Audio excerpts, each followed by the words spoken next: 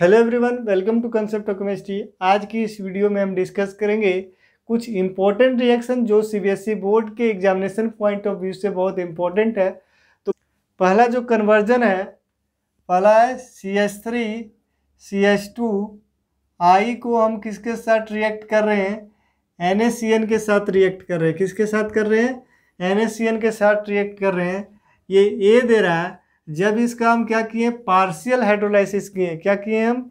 इसका partial hydrolysis किए। Partial hydrolysis तो जब इसका हम पार्शियल हाइड्रोलाइसिस किए तो क्या बना यहाँ पे? ये बेसिक मीडियम में है, ये बी बना। अब हमको प्रिडिक्ट करना है और इसको क्या किए? उसके बाद इसको हम ट्रीट किए किसके साथ?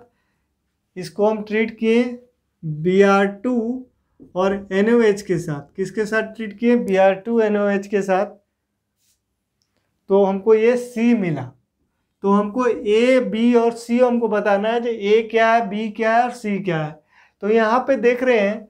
तो यहाँ पे क्या हो रहा है? यहाँ पे जो एन जो है, ये आयनिक कंपाउंड है। यहाँ पे क्या होगा? ये एस एन टू मैकेनिज्म से यहाँ पे सी एन जो है, यहाँ पे सी एन यहाँ पे न्यूक्लियोफाइल के जैसा बिहेव करेगा और यहाँ पे ये अटैक करेगा एस एन टू मैकेनिज्म से यहाँ पे जो प्रोडक्ट बनेगा, क्या बनेगा? C H three C H two और यहाँ पे क्या बनेगा? सी एन बनेगा। जब इसका पार्शियल हाइड्रोलाइसिस करेंगे, अगर कंप्लीट हाइड्रोलाइसिस करेंगे तो एसिड बनता है और पार्शियल हाइड्रोलाइसिस करते हैं तो क्या बनता है? अमाइड बनता है। और आपको यहाँ से एक और क्लू मिल सकता है, जो यहाँ पे B R two N O H के साथ जब इसको हम ट्रीट कर रहे हैं तो जब इसको B R two N O H के साथ ट्रीट करते हैं तो आपको हॉपमैन ब्रोमाइड रिएक्शन में जो जो सबस्ट्रेट रहता था, क्या रहता था? अमाइड रहता था। तो यहाँ पे ये ज़रूर अमाइड होगा।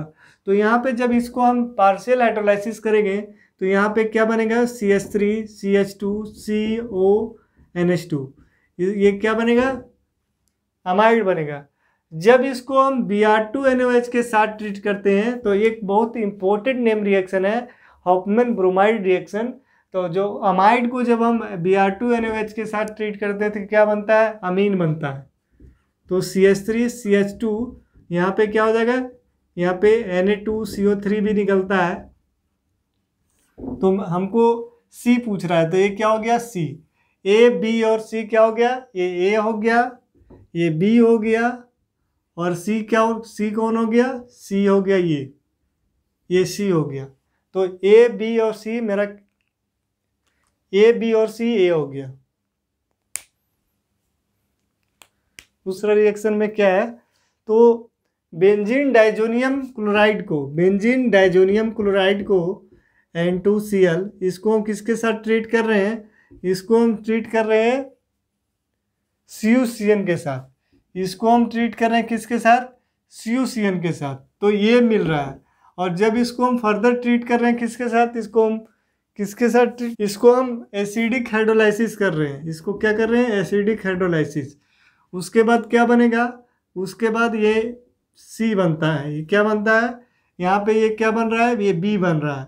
और इसको हम फर्दर किसके साथ ट्रीट कर रहे हैं? इसको हम एन के साथ हीट कर रहे हैं। किसके साथ?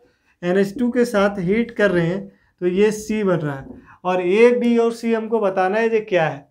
तो यहाँ पे जब हम इसको ट्रीट करेंगे तो बेंजीन डाइजोनियम क्लोराइड को हम जब सी यू सी एन के साथ ट्रीट करते हैं तो यहाँ पे साइनाइड जो है, ये यहाँ पे एल और यहाँ पे क्या लग जाता है? साइनाइड लग जाता है। जब इसका हाइड्रोलाइसिस करेंगे तो जब भी हम साइनाइड का अगर हाइड्रोलाइसिस कर रहे हैं तो वहाँ पे क्या बन जा वहाँ पे क्या बनता है? वहाँ पे एसिड बनता है। यहाँ पे क्या बन जाएगा? बेंजोइक एसिड क्या बनेगा? बेंजोइक एसिड तो ये क्या हो गया मेरा? ये सनाइड हो गया। बी क्या हो गया? बेंजोइक एसिड उसके बाद जब इसको हम ट्रीट कर रहे हैं किसके साथ? एन एच थ्री के साथ। किसके साथ? एन एच थ्री के साथ और हीट कर रहे हैं इसको।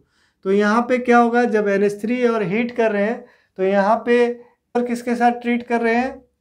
एन एच थ्री और इसको हीट कर रहे हैं तो यहाँ पे क्या बनेगा? अमाइड बनेगा। क्या बनेगा? अमाइड तो ये क्या हो गया? बेंजामाइड यहाँ पे क्या हो गया ये? बेंजामाइड ये बन गया क्या? बेंजामाइड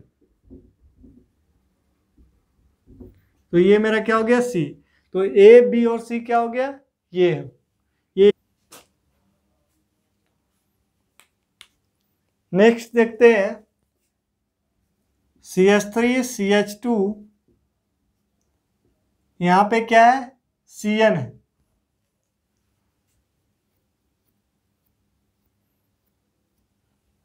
यहाँ पे क्या है? बी आर है। यहाँ पे क्या है? C H three C H two B R और जब इसको हम ट्रीट किसके साथ कर रहे हैं? इसको हम ट्रीट कर रहे हैं के सी एन के साथ। किसके साथ ट्रीट कर रहे हैं? के सी एन के साथ। के सी एन के साथ इसको हम ट्रीट कर रहे हैं।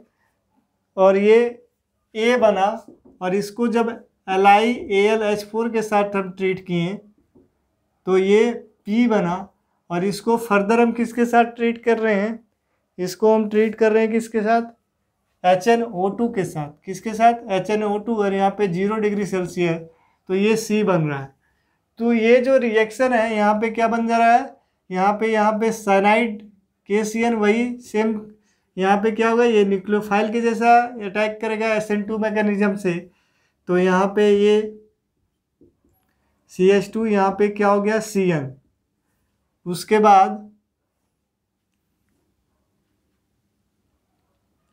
जब इसको हम क्या किए L I A L H four के साथ ट्रीट किए।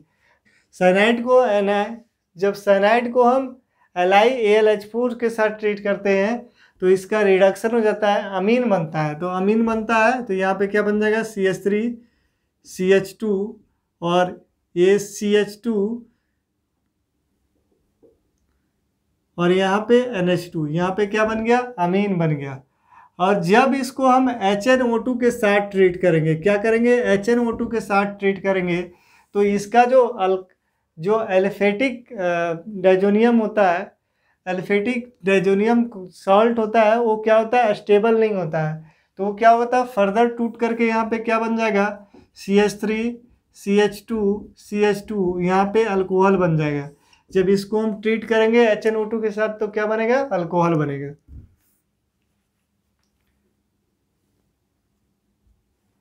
फोर्थ रिएक्शन देखते हैं। नाइट्रोबेंजीन है। क्या है? नाइट्रोबेंजीन। इसको हम किसके साथ ट्रीट कर रहे हैं? नाइट्रोबेंजीन को हम ट्रीट कर रहे हैं F E H C L के साथ। किसके साथ? F E H C L के साथ। क्या बन रहा है? ए बन रहा है। इसको फिर हम N A N O two उसके बाद N A N O two और एच सी एल के साथ। Zero zero degree Celsius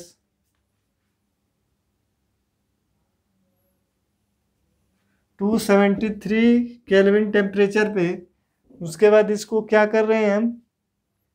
B ए, क्या बना? बी। और इसको हम क्या किए? हाइड्रोलाइसिस किए। एसिडिक हाइड्रोलाइसिस किए। तो ये क्या बनेगा? तो यहाँ पे यहाँ पे जब इसको एफ़ एल के साथ ट्रीट करें तो यहाँ पे नाइट्रो का क्या होगा? रिडक्शन हो जाएगा। और यहाँ पे एनिलीन बन जाएगा। क्या बनेगा यहाँ पे? एनिलीन बनेगा। जब एनिलीन को हम N A two H C L के साथ ट्रीट करते हैं तो यहाँ पे डायो एजोटाइजेशन रिएक्शन होता है। और यहाँ पे क्या बनेगा? डाइजोनियम सॉल्ट बनेगा। तो यहाँ पे क्या बनेगा? एन टू सी एल यहाँ पे क्या बनेगा? एन टू सी एल जब इसका हम फर्दर हाइड्रोलाइसिस करते हैं, क्या करते हैं इसको? हाइड्रोलाइसिस करते हैं तो यहाँ पे क्या बन जाता है? फिनोल बन जाता है। क्या बनेगा यहाँ पे? फिनोल बनेगा। जब इसको हम ट्रीट करते हैं तो यहाँ पे क्या बनेगा? फेनोल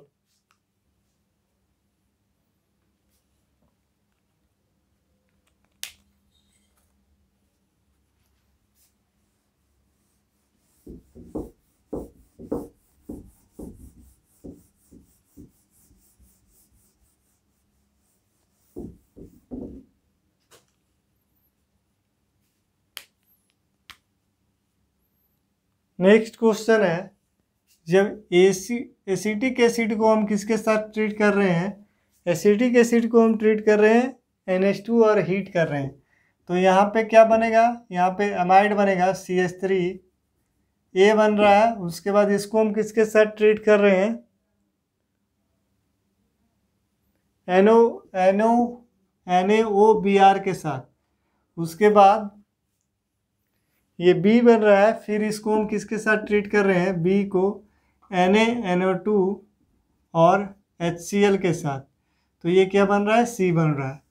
तो यहाँ पे जब इसको हम एन एच थ्री के साथ ट्रीट करते हैं तो क्या बनता है? एमाइड बनता है। तो C H three C O N H two ये क्या बना? अमाइड बना। जब इसको हम किसके साथ ट्रीट कर रहे हैं? एन ओ बी आर के साथ। तो यहाँ पे इसको देख करके हमको समझना होगा कि ये क्या है? हॉपमन ब्रोमाइड रिएक्शन है। तो यहाँ से क्या बनेगा? ये एनिलीन बनेगा। क्या बनेगा? ये बी मेरा क्या होगा?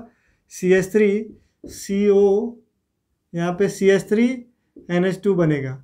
और जब इसको हम किसके साथ ट्रीट कर रहे हैं?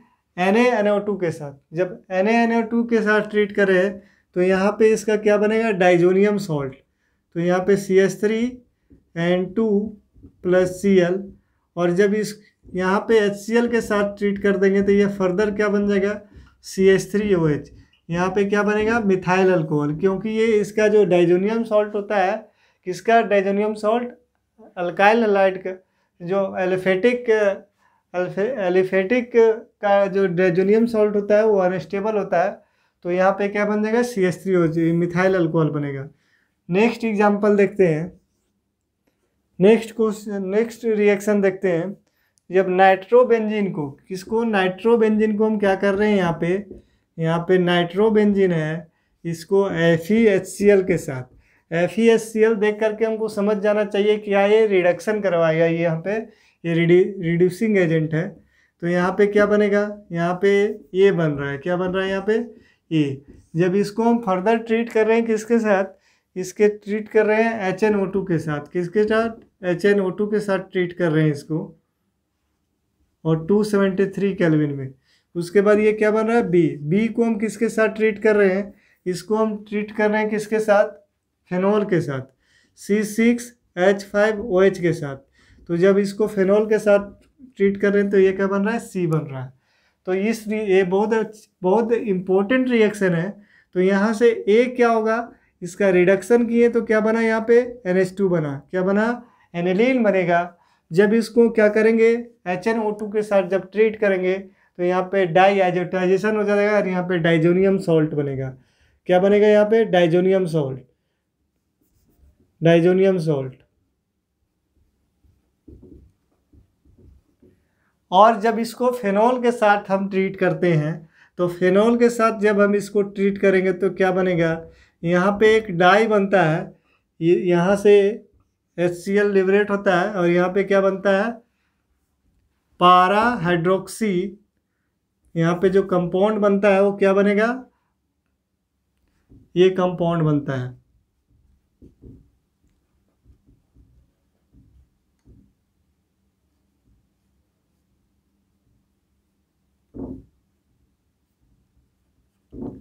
Para hydroxy para hydroxy azobenzene.